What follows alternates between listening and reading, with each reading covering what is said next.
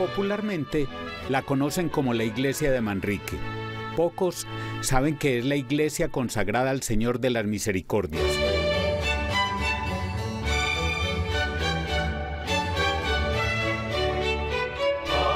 El templo y el convento de los hermanos carmelitas descalzos ocupan la totalidad de la manzana ubicada entre las calles 67 y 68 y las carreras 47 y 48.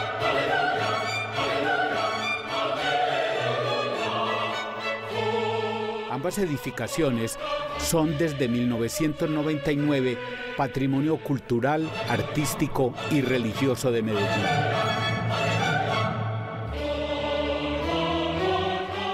La iglesia, que ocupa un área de 1.216 metros cuadrados, es de estilo arquitectónico gótico florentino. Fue construida entre 1921 y 1931. En este lugar que para entonces era conocido como la colina de San Miguel.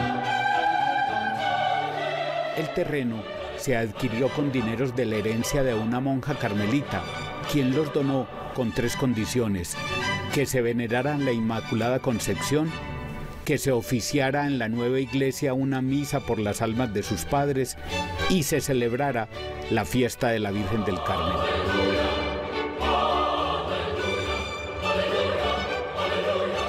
La construcción de las torres fue en 1946. Las mayores tienen una altura de 60 metros y en su interior está el campanario y la maquinaria del reloj. Desde allí hay una vista espectacular de la ciudad, un privilegio para nuestro camarógrafo que subió hasta lo más alto.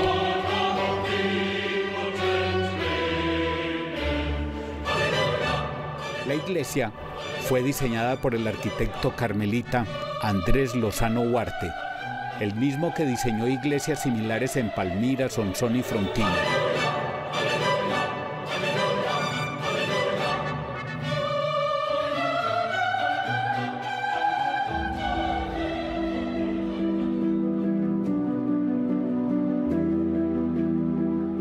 El interior es una planta en cruz latina, dividida en tres naves longitudinales con tres altares. El altar mayor no es el original, pues el primero que fue fabricado en España con madera y laminilla de oro se pudrió. En la década de los 80, carpinteros locales fabricaron este que tiene en el centro la imagen de Nuestra Señora del Carmen de tamaño heroico. En los altares laterales está la estatua del Señor de las Misericordias, obra del artista antioqueño Alonso Montoya. Y en el otro, el Niño Jesús de Praga.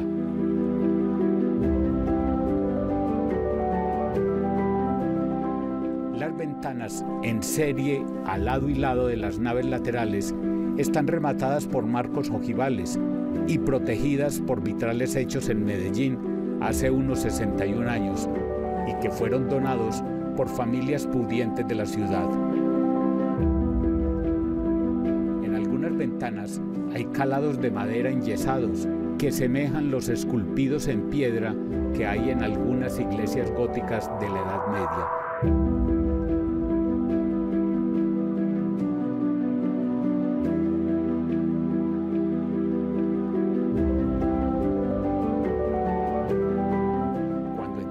Detallar el templo, podemos ver que exige una pronta restauración, pues la humedad ha hecho algunos estragos y hay que preservarlo, pues es una joya del patrimonio arquitectónico de la ciudad.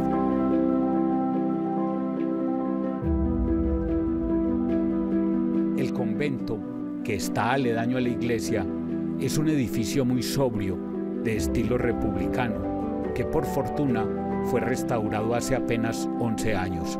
Hoy es la residencia de los monjes carmelitas y de algunos aspirantes a la orden. En varios de los antiguos cuartos se acondicionó este pequeño oratorio con los símbolos carmelitanos. Confiados en que pronto todo va a estar bien, los carmelitas han aplazado para el 2021 la celebración espiritual y religiosa de los primeros 100 años de presencia de la orden en Colombia. En esta, que es la única parroquia que tienen en Medellín y a la cual podrán asistir todos los católicos.